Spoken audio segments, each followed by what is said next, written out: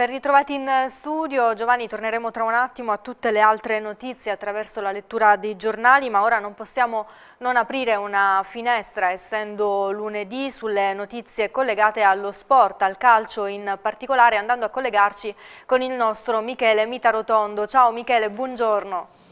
Buongiorno, buongiorno Alessandra, buongiorno Giovanni. Sì, è stato ovviamente un weekend calcistico molto importante. Partiamo proprio dalla uh, Serie A, dal Lecce che ha affrontato a San Siro i campioni d'Italia del Milan. Non è andata bene ai uh, Salentini che hanno perso 2-0, decisiva la doppietta di Leao. Bisogna però dire anche che il Lecce nel primo tempo è andato vicinissimo al vantaggio, c'è stato un palo davvero clamoroso di eh, Bandà e eh, dunque eh, i Salentini poi eh, sono stati eh, travolti dal eh, ciclone Leao prima al quarantesimo di testa per il vantaggio dei rossoneri e poi nella ripresa dopo un'azione personale per eh, il definitivo 2 a 0. Eh, Lecce che eh, in questo momento si trova in una zona pericolosa di classifica eh, perché il eh, Verona in precedenza aveva vinto contro eh, il Bologna per 2 a 1 e eh, dunque proprio il Verona che in zona terzultimo in classifica, in zona retrocessione, ha accorciato sulla formazione di eh, Marco Baroni, ora a meno 2. Eh, allo stesso modo lo Spezia ha pareggiato 1-1, dunque eh, classifica eh, che in coda del um, campionato di Serie A si accorcia notevolmente quando mancano poche giornate al termine, si è disputata la 31esima giornata e dunque eh, ci sono altre eh, sette partite eh, da eh, giocare con appunto Lecce a 28, Spezia a 27, Verona a 26 e dunque la situazione per uh, la squadra di Baroni si è decisamente complicata, sarà importantissimo vincere la prossima partita che i Salentini disputeranno in casa contro l'Udinese per allungare un po' sul uh, terzultimo posto e allontanarsi quindi dalla zona uh, retrocessione. Uh, facciamo un salto di uh, categoria, passiamo alla uh, Serie C perché ehm, ieri si è disputata proprio l'ultima giornata di campionato e il Potenza ha battuto il Catanzaro che ehm, già da diverse giornate è, ehm, ha conquistato la promozione in Serie B, il Potenza si è imposto per 3 eh, a 2. Grazie a questo risultato i Lucani si sono eh, qualificati per i playoff. Vediamo allora il servizio. Cala il sipario sulla stagione regolare di Serie C e nel girone C la classifica dice che il Potenza ed il Picerno si sfideranno nel primo appuntamento dei playoff per aver chiuso al nono posto i rossoblù di Mister Raffaele e al sesto i Melandrini. Nell'ultimo turno infatti il Picerno è stato fermato sul 3-0 in casa contro il Pescara anche se la gara più ostica sulla carta era quella del Potenza che ospitava i dominatori del girone, il Catanzaro schiaccia Sassi di Mister Vivarini che si è aggiudicato la vittoria del girone C dopo una indiscutibile e indomabile cavalcata che li ha portati alla matematica promozione in Serie B con ben 5 giornate di anticipo. Partita subito da ritmi altissimi e con numerose occasioni da rete, si parte al quarto con un contropiede del Potenza con Talia che, lanciato da Murano, si invola solo verso la porta ma perde il passo incredibilmente solo contro Sala calcia fuori. Dodicesimo vantaggio del Potenza meritatissimo con Murano, la conclusione di Volpe dal limite subisce una deviazione di testa da Gatti, la sfera assume una traiettoria che Sala con un gran colpo di reni è bravo a deviare sulla traversa sul rimbalzo e però lesto Murano che di testa sigla il gol del vantaggio dei padroni di casa. Ventesimo si rivede in avanti il Catanzaro con Iemmello che prova la conclusione al volo, la palla potente finisce alta. Al 36esimo arriva il raddoppio del Potenza ancora con Murano. Inizia l'azione Volpe che, conquistata la sfera al centrocampo, si invola verso l'area. Giunto al limite la consegna sul lato corto a Caturano che la passa in mezzo per Murano. Il numero 27 la controlla benissimo piazzandosi con il corpo verso la porta. Da lì la conclusione a fil di palo per il doppio vantaggio dei rossoblù. Al minuto 50 il Catanzaro però costruisce un'ottima azione che porta Cazzeris a servire la palla attesa e rasoterra nel cuore dell'area di rigore per Iemmello che a due passi dalla porta sigla il 2-1 per il capocannoniere del girone la rete numero 28 in stagione, eguagliando così De Florio nel record di reti della categoria. Minuto 59 nel miglior momento del Catanzaro arriva il 3-1 del Potenza, la rete, la sigla del Pinto e Caturano che serve la palla in aria per la corrente numero 6 dei padroni di casa che è bravissimo nello stretto a passare tra due avversari con un dribbling e mettere la palla alle spalle di Sala. Gara ricca di reti infatti al 67esimo accorcia nuovamente le distanze il Catanzaro con Sunas che dal limite prende la mira e mette la palla con una precisione chirurgica alle spalle di Gasparini per il provvisorio 3-2. Finisce così la stagione regolamentare del campionato di Serie C Girone C ma adesso occhi puntati sui playoff su derby tutto lucano tra Potenza e Picerno. Allora, abbiamo visto i gol con i quali il Potenza ha sconfitto il Catanzaro per eh, 3 a 2, gol decisivi come eh, dicevamo per eh, la qualificazione dei Lucani ai playoff, playoff che si giocheranno già la settimana prossima, il 30 aprile, domenica 30 eh, aprile, il primo turno eh, giocherà il Cerignola, l'audace Cerignola che si era già qualificato ai playoff in precedenza contro eh, la Juve Stabia, poi giocherà eh, appunto il Picerno, sesto in classifica proprio contro il Potenza, un derby eh, lucano, quindi eh, il 30 aprile eh, una partita secca dentro o fuori eh, tra Picerno e Potenza e poi ci sarà eh, Monopoli eh, Latina. Questo il 30 aprile. Il Foggia invece che eh, è arrivato quarto alla fine del campionato e che in giornata ha battuto 4-0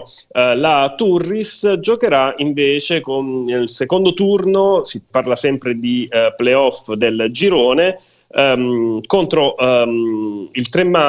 contro la vincente di uh, Monopoli uh, Latina del partita del uh, primo turno. quindi continuiamo a parlare di Serie C perché non ce l'ha fatta la Virtus Francavilla a qualificarsi ai playoff. Uh, ha perso infatti um, la uh, formazione, gli imperiali, gli imperiali, hanno perso contro la Viterbese per 2 a 1 eh, i gol eh, per la Virtus eh, Francavilla, ehm, un autorete di Riggio che ha pareggiato praticamente il gol messo a segno eh, da Polidori al 64 da parte della eh, Viterbese, quindi 64 vantaggio Uh, della Viterbese con Polidori, poi il pareggio uh, dopo un bel tiro uh, di Cisco, la deviazione di Riggio, ehm, pareggio della Virtus e quindi il gol decisivo è arrivato per la Viterbese al 77 da parte di Marotta, sconfitta come detto per la Virtus Francavilla decisiva che um, impedisce alla formazione brindisina di qualificarsi ai playoff e eh, sconfitta eh, purtroppo decisiva anche per la Fidelisandria contro il Latina per 2 a 1 Fidelisandria che eh, dunque eh, retrocede ehm, e quindi retrocessa in, in, Serie D all'ultimo posto a pari punti con la Viterbese, Viterbese che ehm, comunque dovrà aspettare prima di, ehm, di ehm, diciamo ehm, disputare i playoff, i playout o meno perché eh, diciamo in questo momento è eh, retrocessa ma deve aspettare appunto eh, una decisione su un ricorso su una penalizzazione. Eh, mentre rivediamo appunto i gol di Latina Fidelisandria Fidelisandria che tra l'altro era passata in vantaggio con Ventola poi stato, eh, ci sono stati i gol del Latina con Ganza e, um, e Carissoni eh, quindi eh, Fidelisandria che saluta il campionato di Serie C, come detto, e retrocede in D. Eh, passiamo ora alla Serie B, invece passiamo ora al Bari che ha vinto a Pisa eh, 2-1, seconda vittoria eh, consecutiva in trasferta per i biancorossi, vittoria molto importante, vediamo il rigore di Antenucci al novantesimo che ha deciso la sfida, Uh, comunque rigore, eh, partita molto uh, importante, vittoria molto importante per uh, il Bari. Bari che ha iniziato benissimo la gara, subito all'attacco sul campo del Pisa e con una bella azione di contropiede Um, il Chedira praticamente ha procurato l'espulsione a Nogi che ha commesso fallo da ultimo uomo, questo già al tredicesimo, poi Uh, è stato però il Pisa a passare in vantaggio al diciottesimo su calcio di rigore messo a segno da Torregrossa. Nel frattempo vediamo appunto le immagini del fallo di Noci su uh, Chedira nella prima grande occasione uh, creata dal Bari e l'espulsione da parte del giocatore del Pisa. Um, l'errore di Mazzotta qui con la palla recuperata da Torregrossa, poi il fallo di Mazzotta il rigore e il vantaggio del Pisa. Bari che però non si è demoralizzato, ha continuato ad attaccare e soprattutto ha messo in mostra un grande Moracchioli, suo l'assist per l'1-1 da parte di Esposito al 37esimo e sua anche la giocata decisiva poi che ha um, determinato il rigore messo a segno da Antenucci al novantesimo. Bari che è già qualificato ai playoff ma che uh, continua comunque uh, a, um, a, inseguire la promozione diretta perché il Genoa rimane a sei punti di vantaggio, Genoa che um, ha battuto quindi in giornata, meglio ha battuto sabato uh, il Cittadella fuori casa per uh, 1-0. Uh, poi c'è stato il pareggio del Frosinone con il Sud Tirol per 0-0 e dunque eh, la mh, classifica di Serie B, il discorso promozione diretta per la Serie B resta aperto per i biancorossi a meno 6 dal Genoa e a meno 8 dal Frosinone con un calendario che poi eh, vedrà i biancorossi impegnati il primo maggio in casa contro il Cittadella, il Genoa invece eh, sempre lunedì primo maggio impegnato fuori casa contro il Sud Tirol e ehm, il Frosinone che giocherà in casa contro eh, la eh, Regina. Comunque eh, un, campio- un, campionato davvero straordinario eh, per il Bari che ora ehm, perso Flo- Foloruncio anche per questa partita per infortunio sta trovando davvero una risorsa in più con questo ragazzo alla